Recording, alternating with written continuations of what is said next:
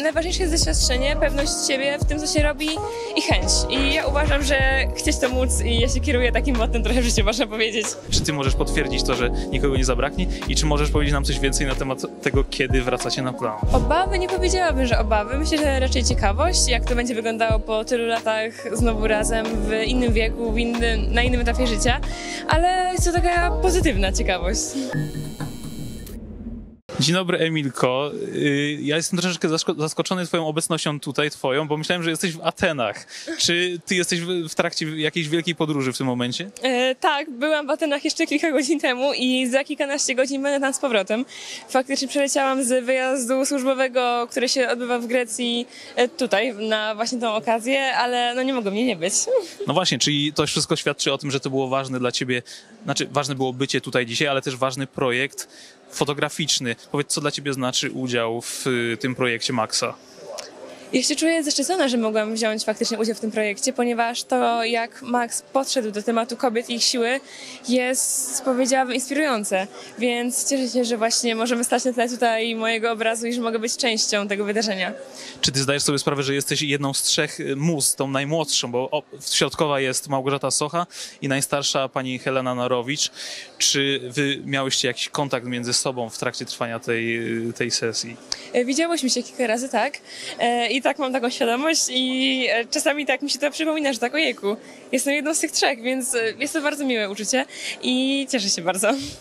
Ostatnio miałem okazję rozmawiać przy okazji Must Be The Music y, z, z Adamem Zdrójkowskim, którego zapytałem oczywiście, jak żeby inaczej, o powrót rodzinki.pl i on mnie zapewnił po pierwsze, że nikogo nie zabraknie w nowym, y, w nowym sezonie now- nowej, nowej serii, a po drugie, no nie chciał mi do końca powiedzieć, kiedy startujecie ze zdjęciami, na jakim to wszystko jest etapie. Czy ty możesz potwierdzić to, że nikogo nie zabraknie i czy możesz powiedzieć nam coś więcej na temat tego, kiedy wracacie na plan?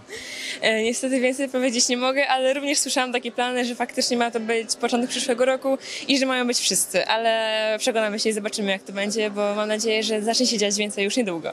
Ale ty masz jakieś takie przeczucia co do tego, jak wypali ta, ta nowa rodzinka.pl, bo wszyscy bardzo dorośliście, zmieniliście się, więc na pewno to nie będzie już ten sam serial co kiedyś. Czy są jakieś obawy w związku z tym? Obawy nie powiedziałabym, że obawy. Myślę, że raczej ciekawość, jak to będzie wyglądało po tylu latach znowu razem, w innym wieku, w innym, na innym etapie życia, ale jest to taka pozytywna ciekawość. Jesteśmy tuż przed październikiem, czyli rozpoczyna się rok akademicki. Powiedz, czy ty rozpoczynasz jakieś studia? Jeżeli tak, to co to będzie? Zdradź. Dokładnie, dostałam wczoraj dostęp do planu zajęć, więc już tak coraz więcej zaczynam wiedzieć i, i widzieć, wiedzieć, wiedzieć. A tak, będą to studia biznesowe, ale więcej powiem właśnie już w październiku, jak już się oficjalnie zacznie. E, Będę też chciała na Instagramie trochę wrócić do tematu matur, przygotowania do nich i właśnie studiów, więc to wszystko niebawem u mnie. Ale najpierw muszę z tej Grecji wrócić ostatecznie, bo... A są takie jakieś myśli, ciągoty do tego, żeby spróbować z Akademią Teatralną? Kiedyś o tym myślałam, ale tak bliżej właśnie tego momentu, w którym trzeba podjąć tę decyzję, e, to tak stwierdziłam, że chyba to raczej media marketing będą dla mnie. A Julia Wieniawa myśli, że twoim zdaniem może być takim przykładem tego, że wcale nie trzeba studiów aktorskich, żeby radzić sobie w tej branży filmowo-teatralnej? Myślę, że tak, że najważniejsze jest doświadczenie, pewność siebie w tym, co się robi i chęć. I ja uważam, że chcieć to móc i ja się kieruję takim mottem trochę w życiu, można powiedzieć. Powiedz w takim razie, czego tobie najlepiej życzyć na nadchodzące miesiące i nowe wyzwania? No tak, to, to będzie to moje pytanie. E, dziękuję bardzo za życzenia i chęć życzeń. Hmm.